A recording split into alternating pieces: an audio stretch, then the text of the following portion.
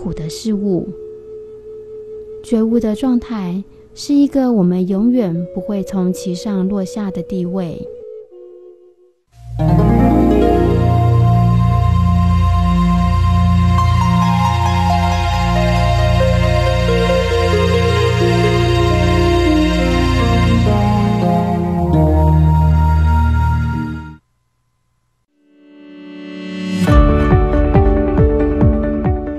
接下来，请收看长老法语。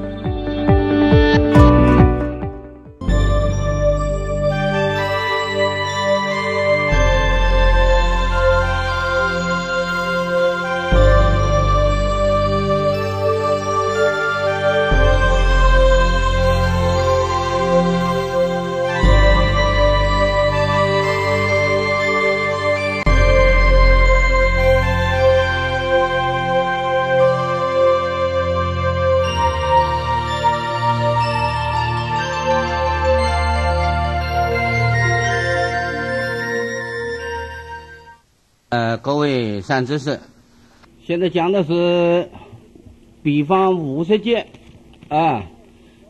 前面是说的明所烧之类，就是有修五十戒定、四空定成就了，升到五十界天，就是被五十界火所烧的这类众生。那么第二名被烧之下。五十界天被烧的情况，啊，经文又诸恶鬼头上火燃，饥渴热闹，周章梦走。这一一首句中四句，就是说明被烧之相。啊，四空天既然没有五漏法使。呃，没有五漏法，就是没有这个断烦恼、超出超出三界的这种的法外的饮食，那么因此饥渴，呃，叫做恶鬼，诸恶鬼，总指五十界，五十界有四空定，当然升到五十界的众生也是不止一类，所以诸恶鬼是很苦恼的，有东西也吃不下去。这这是比方啊，五色界定功夫虽然很高，但是没有办法超出三界，没有办法超出三界，没有无漏法的饮食啊，所以好像恶鬼啊，所以叫做诱诸恶鬼，以恶鬼来比方五色界定啊，不能了生死啊，不能出三界。那么虽然是居在三界的最高的地方，啊，但是也免不了啊被无常无常之火所烧啊，呃，头上火燃就是被火所烧，啊，这个头上火燃呢，就是比方五十界众生，虽然是时间很久，像五飞飞想天有八万四千大劫，但是这个时间过得也很快的，嗯。那么，尤其他在这个吃定，啊，迷痴的禅定境界当中啊，糊里糊涂就好，好像睡觉一样。在我们以时间看起来，好像八万四千大劫很长，可是你要知道，他在那边呢，就是好像我们晚上睡觉一样，哎，啊，你们自己想想，晚上几点睡觉？等到你醒来了，几点了？啊？你有没有觉得你睡了很长的时间？假如你不看时间，不看终点的话，嗯，自己是不会知道你睡了多少时间的。假定说晚上十点睡，醒来已经五点了，那你实际上是睡了七个钟点。但这个七个钟点，你会觉得你睡了七个钟点吗？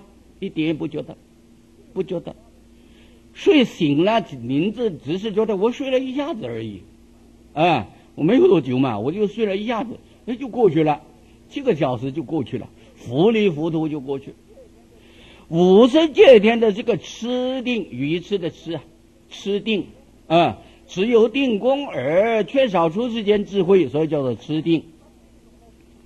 他这种的四空的啊吃定，只是厌离这个圣龙，他总觉得这个身体的障碍，有这个身体的障碍。他生到世界天就觉得这个身体的障碍啊，但是希望没有生，啊，所以道教老子也他也说无有大万难，唯我有身，有这个身体就是大万难，最苦恼。呃，我们人道众生就爱惜这个身，可是这个五世界天众生啊，他希望能够舍离这个色客、色笼，啊，他有这个身体好像装在笼子里面，很苦恼，所以叫做色笼啊。笼子好像鸟笼啊，那么因此他希望有没有这个色心，就是五蕴里面呢，他只要有心就可以了，不要色，所以他就下这个功夫啊，修这个痴定，升到五色界天啊。那么这五色界的时间虽然很长，甚至八万四千大劫看起来很长啊，那么他们在那边享受这个吃定之乐呀，就是好像好像我们睡觉一样，哎。睡了六七个钟点、八个钟点，时间很长了。可是睡觉的人不觉得长，不觉得长。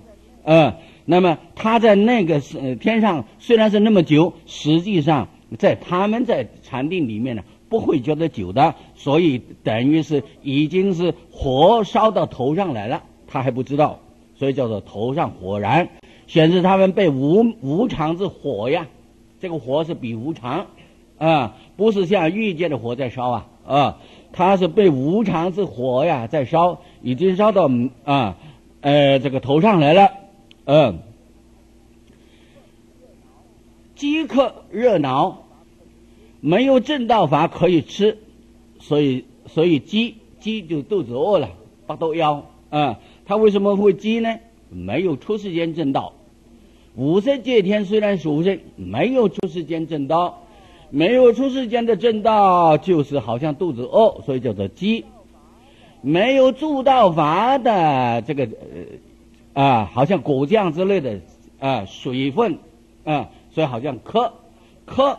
比方他没有出世间的助道，帮助的助啊，他没有出世间的助道，纵然升到世无色界天，可是他没有出世间的正道，好像肚子饿。呃，没有出世间的助道，帮助的助道，所以好像没有没有水喝啊，所以叫做渴。嗯，他也有维系的烦恼啊，五色界也有维系的烦恼，被这个维系的八苦所煎迫，所以叫做热，热就是苦恼啊，也有维系的这个烦恼心所呀，啊，虽然是扶住不动。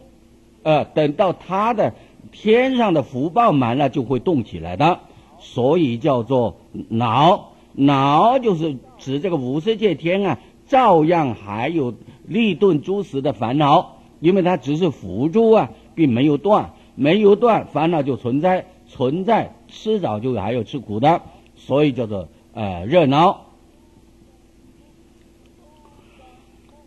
周章梦走。这是说明他还在轮回生死周之中。周指三界，三界里面呢，从上至从下至上，周边了有欲界、色界到无色界最高的地方了。周啊，那么将来福报满了再往下走，啊，就往下堕落了。好像这个玉头蓝佛升到飞飞享天，八万四千大劫满了，他还堕落做飞离，啊。那么做畜生道，所以便于三界之中啊受苦不断啊。周张是防部统防的意思啊。他在三界里面呢轮回流转不停，梦则梦，这个心里不安乐啊，不安乐，不能出三界就不安乐。为什么这样说呀？修五色界定的外道啊。他们都是打算要出苦的，都是想出苦，想出三界的。可是他的路子走的不对呀，只修世间的四禅八定，不懂得修出世间的灭受想定，没有修灭尽定，所以他没有办法超出三界。那么就在三界里面懵懵不乐的在哪里走动，啊，升天呐，咒人呐，地狱恶鬼畜生啊，在六六道里里面的轮回流转没有停止，那是很恐慌的。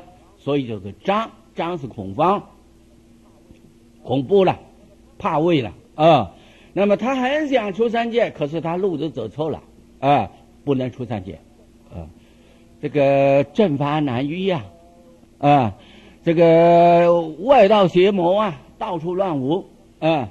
那么迷痴众生不懂得什么叫做正法呀，就被这个外道牵着鼻子走啊，跟着他跑，最后不但不能了生死，甚至严重造事造罪业啊。那么所以这个正法实在是难逢难遇的，天生罕遇啊，万劫难逢啊。我们大家碰到佛法，能够有这种的正知正见的正信之心，这是很难得的，要好好的保惜。爱护啊，自己庆幸自己很不容易。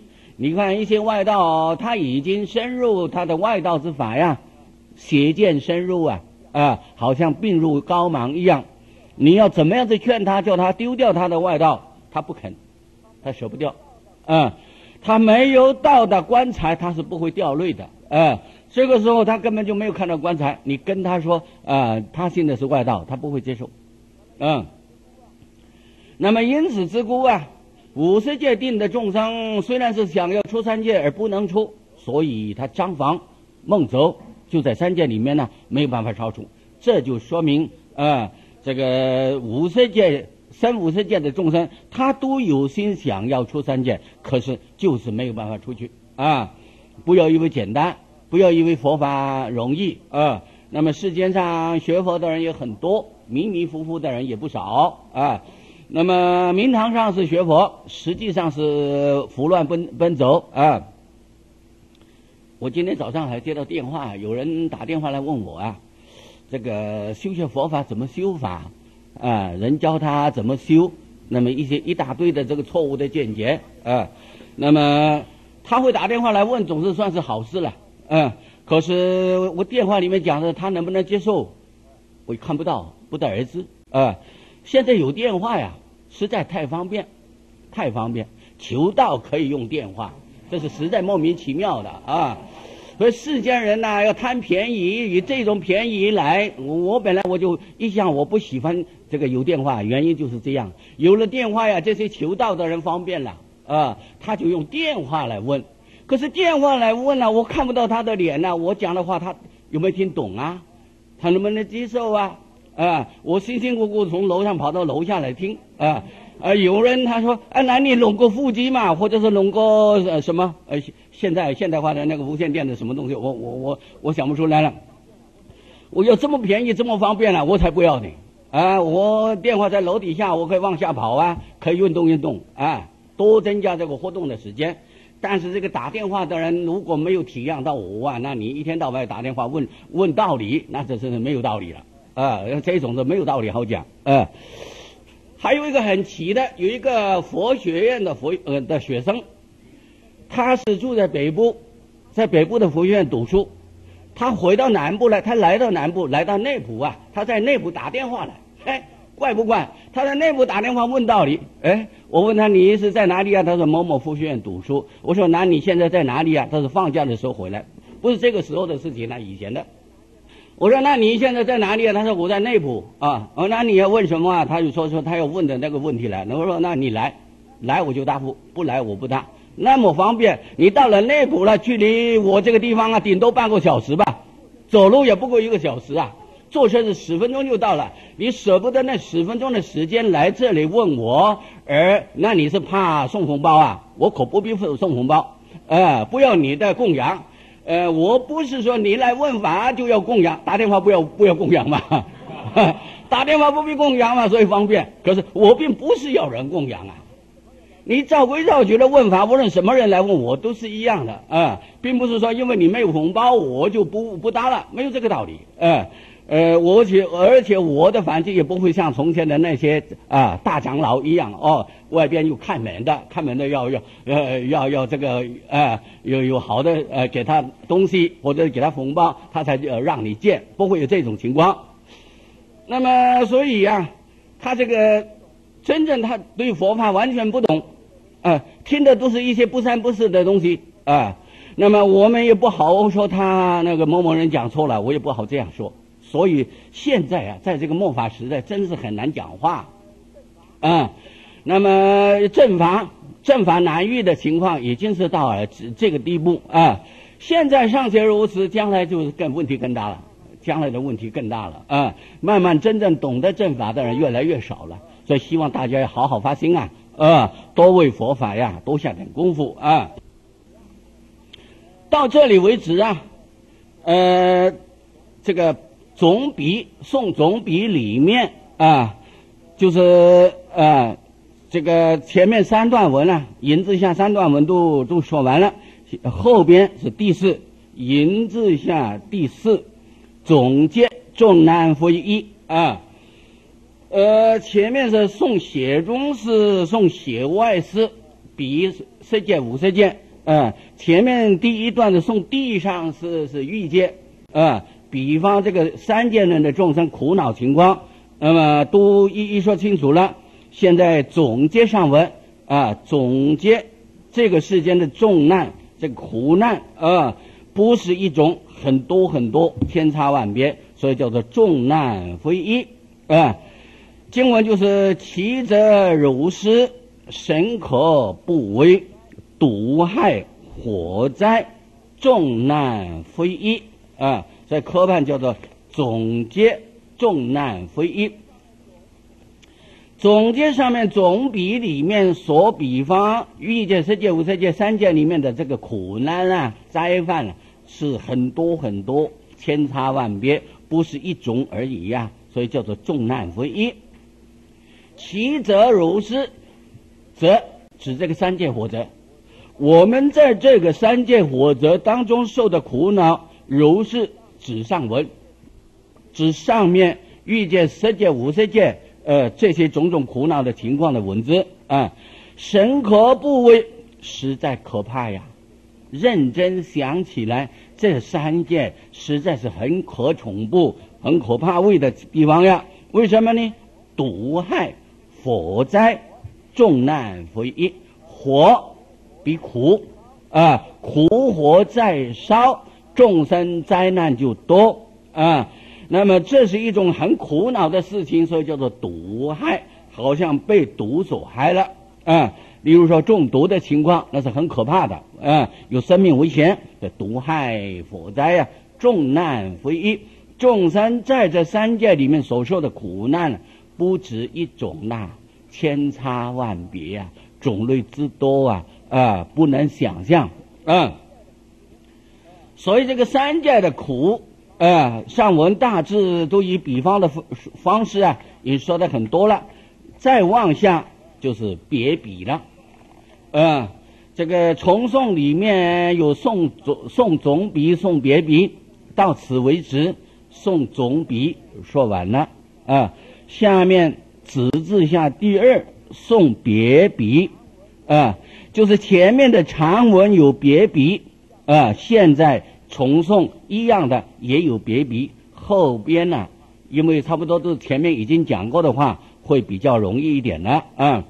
不过也得把前面总笔里面的文字所说的比方要记得，才能够比较容易了解。不能再像前前文呢这样一样一样再比下去。如果一一要这样说的话，那花的时间就更多了。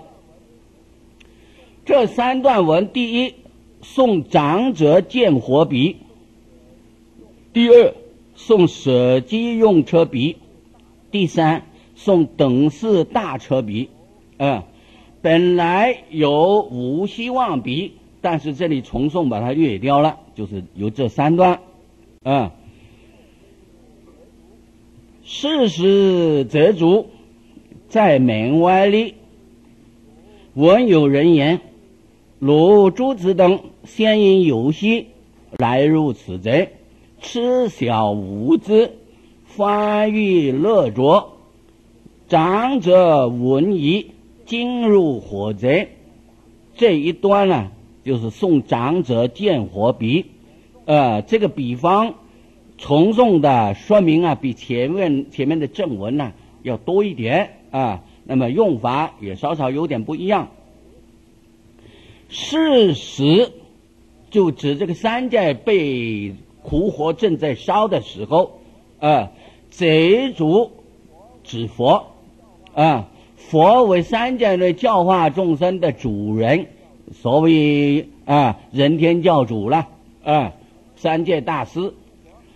我们的教主释迦牟尼佛，呃，在门外立门三界之门，三界门之外，那么就是说明啊，佛自己已经超出三界，他的生死已经了了啊。门外是在什么地方呢？法身的离地啊，佛安住在他的法身离地当中，所谓长极光了，啊。就在长吉光镜净土的法身离地之中。那么，既然在长吉光图，他应当可以安心坐下来了。为什么要立呀？立是站，卡来了啊！为什么立呀？这是表示佛的大慈悲心。佛常怀大悲，念念要救度众生，不住于第一空之坐啊，法空坐啊，以法空为坐。第一义空的法空之坐啊，他不做，不做，为什么做不做啊？怀大悲心，念念要做度化众生的事业啊，念念不忘众生苦，想要度苦众生，所以佛呀，在长己光也不做，纵然在极光净土，他并没有坐下来，没有坐下来的意思就是说，佛度众生啊，并没有休息，没有休息。不是说他成佛了没事了，没有事就休息吧？啊，他也不能睡大觉啊。我们到晚上就要睡觉啊。释迦牟尼佛，我们的佛像坐在大殿里，还还是还是坐到天亮的。你看我们的佛有睡觉吗？呃，南传佛教有恶佛，嗯，恶佛是因为纪念佛入灭，但是我们拜的佛，他坐在大殿大殿里，从来不曾躺下来睡的，啊。嗯自从把他的像雕塑好了，放在供在大殿上，他就一直做下去呀，一直做下去，做到他这个身体坏掉为止。天地同朽了。假如你是啊木啊木刻的比较坏的快啊，假如说你说的石刻的哦，那就跟这个天地相同了。嗯，不到交到坏阶，它也还不会坏掉啊，除叫人工去把它打弯。佛是永久坐在那不动啊，那么这是表示他常住极光的这个净土啊。那么现在他表示他常在度化众生，没有休息，所以叫做在门外立，站在这个三界的门之外呀啊，在法身里地啊，看着众生受苦啊，就赶快要来度他。闻有人言。前面的长文叫做见，长者见，哦，长者看到火在烧。现在这里说闻，不是见，听到有人跟他讲，闻有人言，听到有人跟他讲。那么这里讲听，就是跟前面的，呃所说的这个呃见呢，显示佛果上的见闻不二，成佛了。六根服用，六根服用，眼根可做耳根用，耳根可做眼根用，不像我们凡夫啊，眼睛只能看呐，耳朵只能听啊。那么，如果是叫你用耳朵去看了，那是没有办法的啊。佛不然呢？他的眼能看也能闻，他的耳能闻也能看。所以前面说见，这里说闻啊，有人言，按照文字看起来好像有人跟他讲啊，哦，这是因为要比喻呀，比喻不这样说，意思表达不出来啊，否则他既然在门外，他怎么知道呢？啊，他在法身里地，他怎么知道众生在受苦呢？这是说这个闻有人言的那个有人呐，是指他的这个佛地上的这个呃。贯度众生的慈悲的三昧，啊，呃，由他的大慈悲的三昧王啊，时时观察众生根性，是三昧跟他讲，不是有别什么别什么人，这个有人呢，就指佛的境地当中所亲证的三昧之王定境，啊，常住定境当中啊，关照到众生的苦恼，啊，但愿人跟他讲，啊。呃哪且常在定啊？无有不定时。佛无时不在定境当中，无时不在三昧的境界中。这个时候，佛在法身离地的长期光光图看到、观察到众生正在受苦，所以有人言，好像有人跟他讲，就是他的三脉的智光关照，知道众生在受苦啊。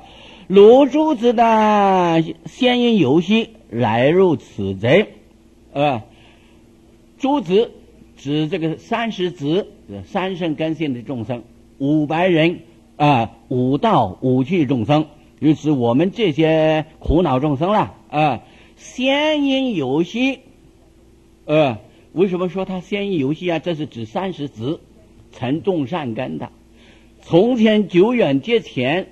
释迦牟尼佛曾替这些众生种下善根，到了后边化成玉品说了啊，在大通智胜佛那个时候，释迦牟尼佛还是菩萨，做菩萨沙弥，那么就替这些三圣根性众生种下善根了啊，种下善根呢，因为还不够深，所以游戏人间呢，又造了罪业，来入此贼，又受三界轮回之苦了。那个时候，佛替他种善根，也是在三界中。可是他种了善根，后来没有继续好好修行啊，所以在三界里面又继续轮回受苦了。所以仙印游戏来入此贼啊。呃，在古德的解释当中，呃，这两句话它有两种的意义。第一是比方这比方这些三圣根性的众生，初发心的时候就叫做初，好像等于初。啊，那么发心就等于出三界，可是实际上并没有出啊。但是他没有得到不退转了，啊，那么过了一段时间，他的见思或者烦恼又起了，啊，就好像游戏，啊，那么见思烦恼起呢，就造业，造业又在三界里面轮转受苦了，所以来入此贼，啊，又在三界里面受苦了，来入此贼，这是第一种说法。第二种的意思是说。我们众生本有的理性本来是清净的，所谓叫做自信清净心，自信清净法身，啊，这个自信本来清净的不是三界之法，啊，这就是本来我们的理性并不能被三界所所缠缚、所盖服的，理性本来清净，可是因为有无名的缘故啊，啊，轮转在三界了，这好像。在三界里面游戏了啊，希望而有生死了。本来没有生死，理性本净没有生死啊。与我们众生本有的自信清净心啊，生死不可得，无所谓生死。可是因为有无名的缘故啊，所以在轮回啊啊，希望有生死啊，所以叫做游戏而来入此贼啊。那么会轮回生死的原因，是因为有烦恼，烦恼不断，那么轮回就不息。啊，那么因此要出三界，就得断烦恼。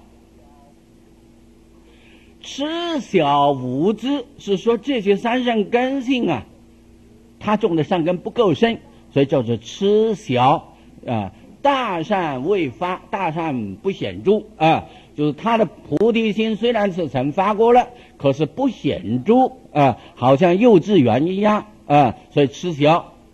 无知就是被这个贪嗔痴等烦恼所缠缚，无知指他的烦恼，有贪嗔痴等烦恼所缠缚啊，所以在三界里面轮转了啊。发欲乐着啊，他喜欢在三界里面流浪生死啊，爱着生死，不想出离，所以就三界内受苦没有了期了。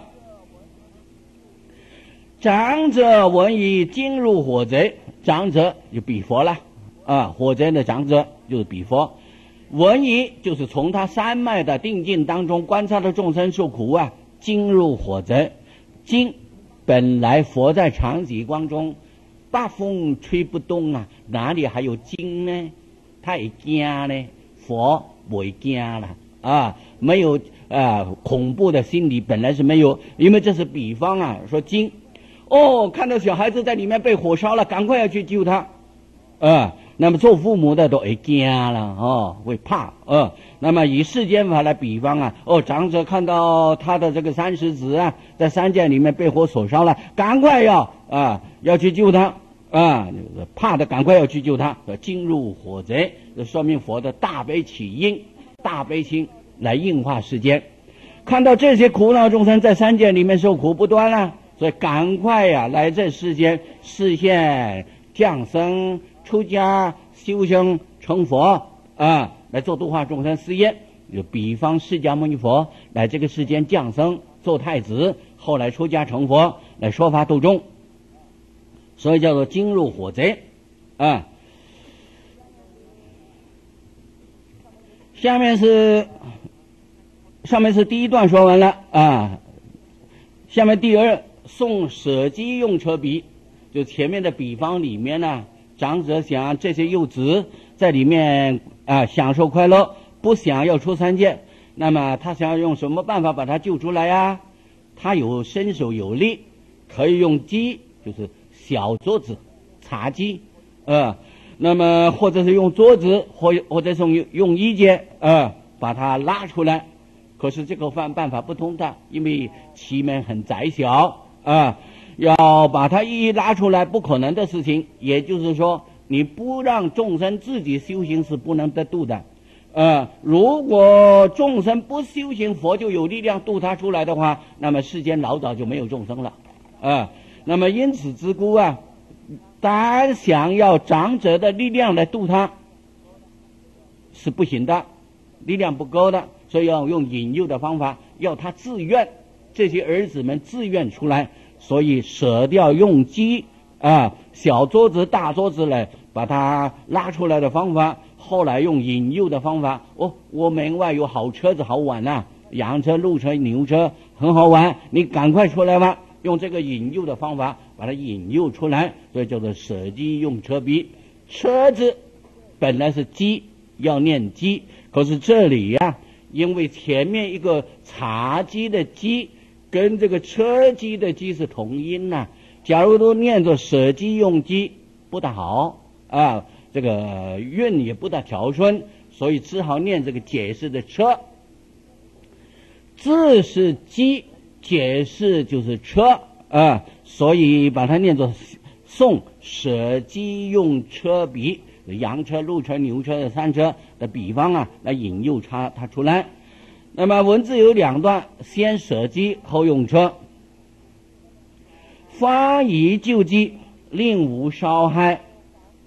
啊，那么这个时候赶快呀，要用权巧方便的方法、适宜的方法来救济他，营救他出来，不要使令被火烧害，呃，令无烧害。不要使这些三十子等已经发过菩提心啊，再让他在三界里面啊被苦火所烧啊，要渡他赶快出来。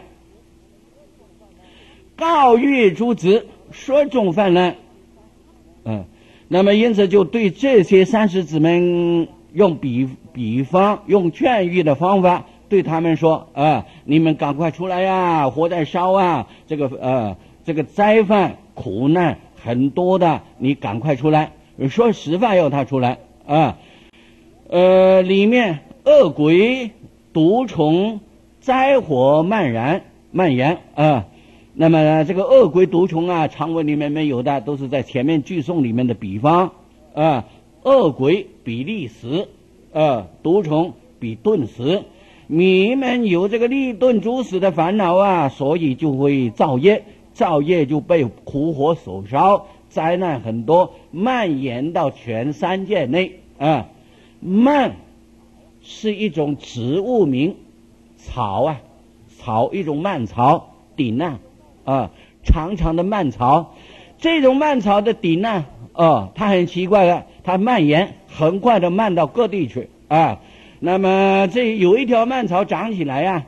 东边一个，西边一个，南边一个，很快就把整个地方啊都霸满了，蔓延满了啊，延伸到整个地方，也叫做蔓延。众生有了利钝诸时的烦恼，有五五钝时的贪嗔痴慢疑，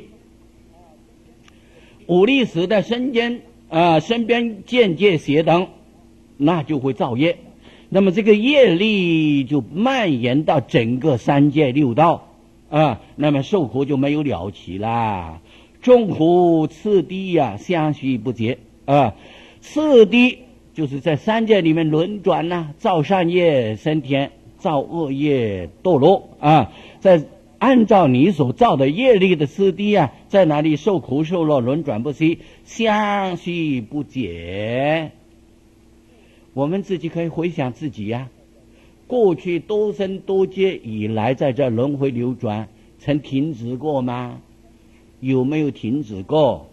不曾停止过，就是相续不竭，没有间断呐、现在做人，过去生做什么，自己也不知道。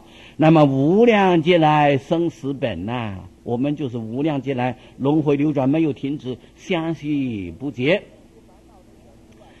那么因为有这些烦恼的缘故啊，所以相续不竭啊，有毒蛇、顽蝠这些毒虫啊，前面都说过的啊，在总比里面前面比喻界是都说过的，就是比顿时，脊柱夜叉、鸠盘叉鬼，这是比利时夜叉阶级鬼，比这个时间啊。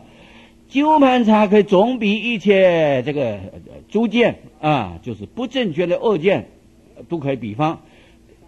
字是图，鸠盘图，但是应当是鸠盘查。这个道理我在第呃上次讲过了啊，应当是鸠盘茶。那么现在经文里面都印作土字，不是茶字啊。但是这里应当是鸠盘茶，而不是土啊，念作鸠盘茶龟呃，因为这是印度话啊。原来是鸠盘茶，新译有些译作茶是那个巡查的查啊，查看的查，那么那就不会念成土字了。呃，这里把这个茶跟图啊搞不清楚啊，所以往往鸠盘土、鸠盘茶分不清，应当是鸠盘茶，嗯、呃，就是瓮形鬼啊。那么比利时、野干、腐狗、雕鹫、雌枭这些名下啊，呃，动物类所比方的，在前面都说过的。那么如果忘掉啊，再找前文看看啊，比对一下就可以知道了，不必再再翻。白足之属，白足就是蜈蚣白足啊啊，那么也是一种毒虫之类，属就是类啊。饥渴脑饥，神渴部位。饥渴就是有了这些烦恼啊，他必定要造业；有了这些毒虫啊，他必定要找吃的、找喝的啊。众生有了贪嗔痴等烦恼，有五力识等烦恼，他必定就会造业啊。没有说是有烦恼而不会造业的，没有那么便宜的。既然有烦恼就会造业，所以饥渴脑饥呢，他就会造业，就神口不危。业造了就要堕落啊，那么就要受苦，那不是很可怕的事情吗？所以叫做神口不危。此苦难处，恍惚大佛。这些众多苦难之处啊，就是由这个烦恼而造业受苦，这么多的苦难之处，何况有很多的大苦之火呀，四边在烧，没有停止啊。这个不必一一比对了，如果一一要比对前文呢、呃，实在是太烦，顺着文字简单消文就好。因为这个意义啊，在前文都已经说过的，就是这个别比里面所说的道理。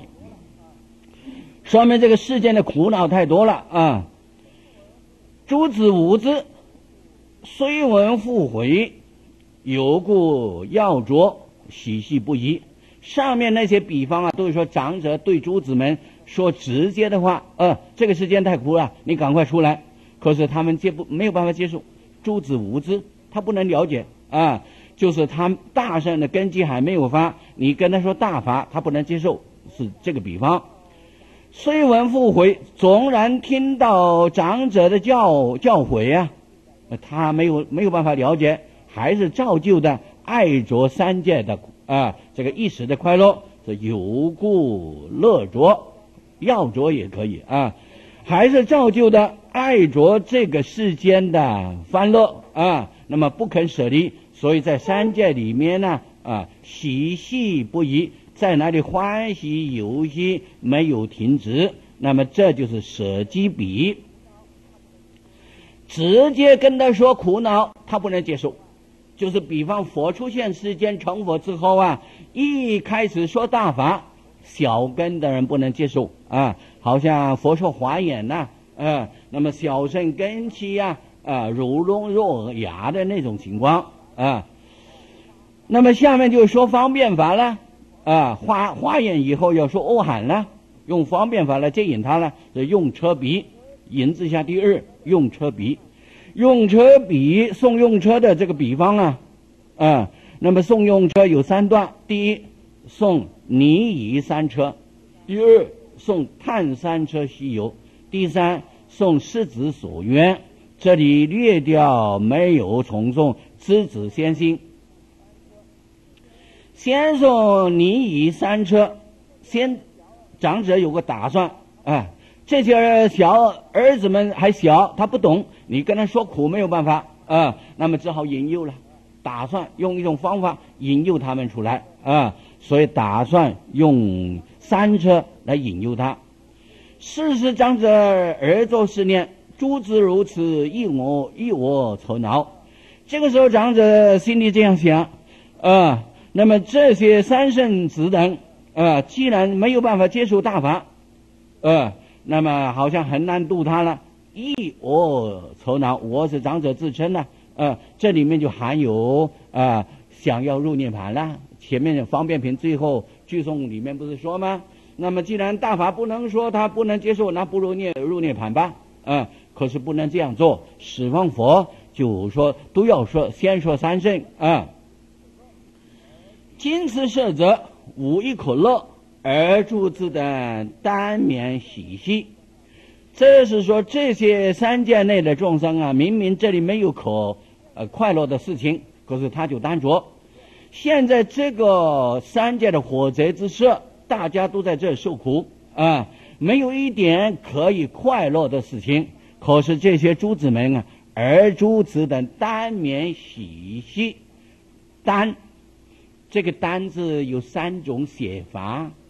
现在书本里面的“单”呢，是“游”字旁，啊，十二时辰的“游”，“游”字旁的“单”。还有一种写法，“身”字旁的“单”，身体的“身”，“身”字旁的“他单”。例如说“耽搁”，“耽误”就用那个“身”字旁的“单”。还有还有一种写法，“耳”字旁的“单”，耳朵，“耳”字旁的“单”，啊。例如老子的名字叫做老丹啊，儿字旁的丹。那么同样叫做丹字啊，有这三种写法啊。那么身字旁的丹呢，可以用在耽误、耽着啊、耽爱也都可以通用。儿字旁的单，有的时候也可以跟这个身字旁的单通用啊。但是有的时候人名的单呢，就用儿字旁，不能用身字旁啊。现在这里有字旁的单呢，那个有是代表酒啊。我们中文这个方块字啊，要我要懂得它的这个呃不同的写法，用途就不一样啊。现在用的有字旁的单呢，那个有字旁就代表酒啊。你也讲酒不？哦，代表酒。酒醉了就单了，哈，这个单着一酒，单免酒色，就是用这个单字，不能用生字旁，不能用儿字旁啊。但是有些经文也会印作生字旁、儿字旁的单，哦，那是因为古代书法呀，这个字有的时候通用啊。现在我们这个书本上的单是有字旁，啊，这是正确的，显示三界内的众生好像喝酒醉。啊，最无名酒啊，最见思酒啊，最烦恼酒啊！我们天天喝着烦恼酒啊，被这个烦恼酒所耽着了，不肯舍离。下面那个“免”字，三点水做个“面”字的“免”呢？“免”就是爱着的意思啊。呃，古书经常会写作“单免酒色”。一个人在酒色里面不肯舍离呀，就叫做单眠酒色。单，呃，说明他沉醉在酒中；眠，说明沉醉在色中。啊，所以叫做单眠酒色。现在他所单眠的是指三界内的快乐，不肯舍离。他以为三界很快乐，好像喝醉了酒，贪着三界的快乐情况一样的单免喜戏。他在这里游戏啊，蛮高兴的，他不肯舍离。喜戏的意思前面曾讲过了啊。那么意思不是我教，将为火害，可怕呀！啊，不接受长者长者之教训，要他出来他不出来，将来会被火烧啊，那就苦恼了啊。那么意思就是说，如果不用小法来引诱他，只说大法，他不能接受。所以接下去就是说，即便思维呀，设诸方便，这两句正说出要用这个三车的用意了啊。那么长者突这个时间突然之间，赶快就表现出他想要用三车引诱他的方法了啊。那么只有一个办法，啊，用三车来引诱他，叫他出来，他才会接受了啊。所以接住就是说送探三车西游，就跟这个儿子们说，我外边有三车很稀奇少有，你赶快出来吧。引诱的方法啊，就说欧韩。告出子呢，我有种种珍玩之具，鸟宝豪车，就跟呃三十子等说了啊，我在门外啊有很珍贵好玩的器具，很微妙、很宝贵的很好的车子，什么车子呢？洋车、鹿车、大牛之车，这是三车了啊。今在门外，呃，现在这个车子都在这个大门之外呀，路灯出来。你们大家呀，赶快出来吧！无为如的造作此车，我为你们这些人呐，我在门外也就造作建造了很多很多的这些车子啊啊，随意所乐，可以游戏。那么你如果有希望想要玩的话，里面没有什么好玩的，我外边的山车最好玩的啊。那么随你的心意，看你要洋车还是要路车。还是要牛车，随意可以游戏。我从前说过，嗯，真正有洋车是谁？哎，是隋阳广没有错啊，这个隋炀帝杨广啊，嗯，他真的玩过洋车，不过他那个洋车还有人帮助他拉就是了。哦，那是一种玩的，是玩具。现在这里有洋车、路车、牛车、大牛之车，金城门外，路灯出来。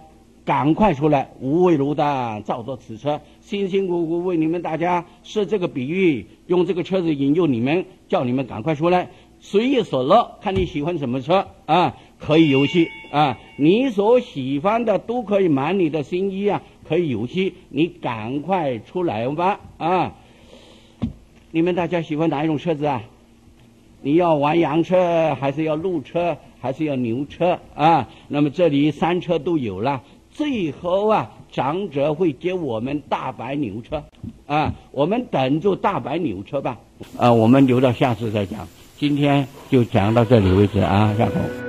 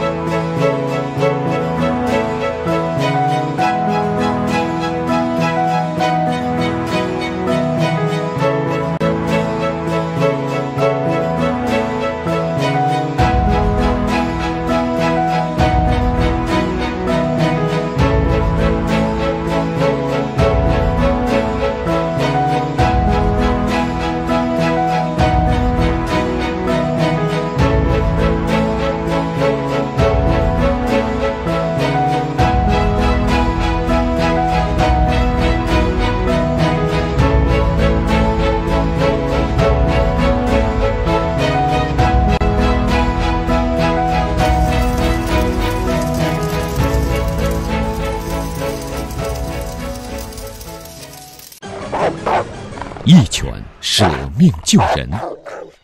在九江贺家山陵园内，有一处奇特的纪念碑。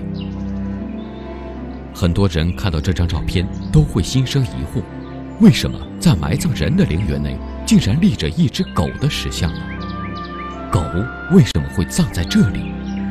当人们看到碑上的文字后，便会对埋葬在这里名叫赛虎的狗肃然起敬。二零零三年十一月二十八日下午，九江市林业驾驶学校的刘师傅在菜市场买了一条已经死掉的狗带回学校。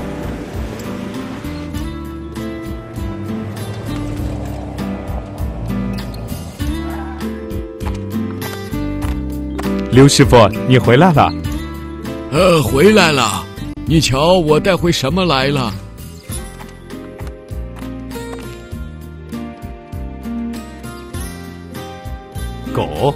刘师傅，你从哪里弄来的？在菜市场买的。今晚咱就炖一锅狗肉。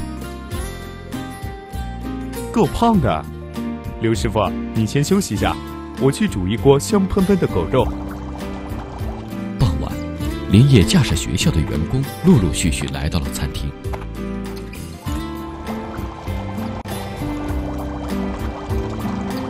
哇哦，好香啊！可真香！刘师傅人可真好，没有忘记给我们补一下。哈哈哈，刘师傅，您来了，快先找地方坐下，狗肉一会儿就好了。刘师傅，你过来这边坐，狗肉快煮好了。就在大家等待狗肉出锅的时候，那四溢的肉香把一群刚出生的小狗引到了餐厅。炖狗肉的厨师看到这群可爱的小狗，怎么，你们这几个小家伙也想吃啊？便夹出一块肉丢给他们。就在小狗们要跑过去吃肉的时候，他们的妈妈赛虎却突然做出了令人不解的举动。狗妈妈狂叫一声。小狗们离开了，赛虎对着地上的狗肉又连叫了几声，但几十个员工丝毫没有理会，继续准备吃狗肉。怎么还想要？说着，又丢了一块肉在地上。赛虎见餐厅里的人越来越多，而且都聚在锅边等着吃肉，开始对着锅拼命狂吠，声音一阵比一阵大。一次比一次凄厉，但是大家还是都不理会他。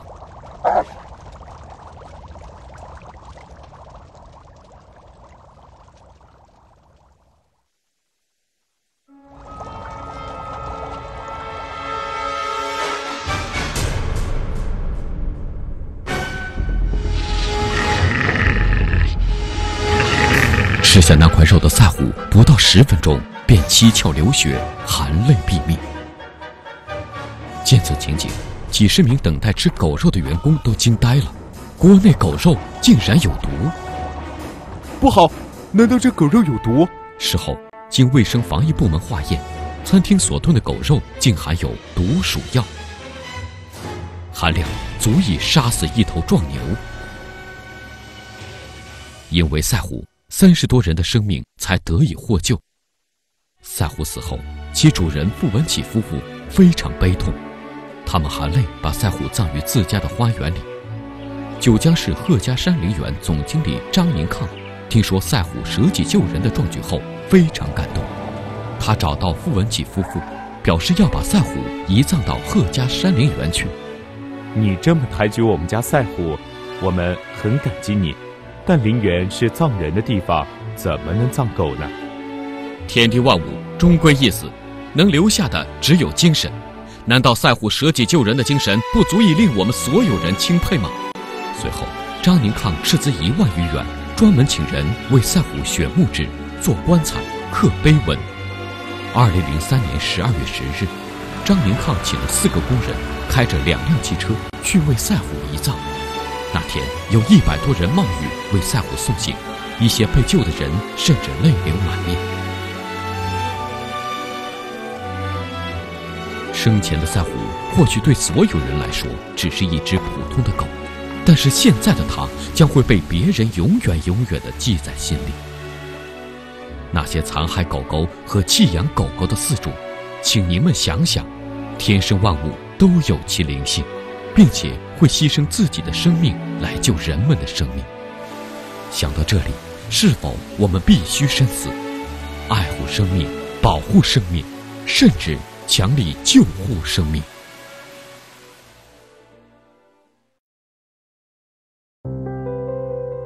护持功德殊胜行，无边胜福皆回向，普愿沉溺诸众生，速往无量光佛刹。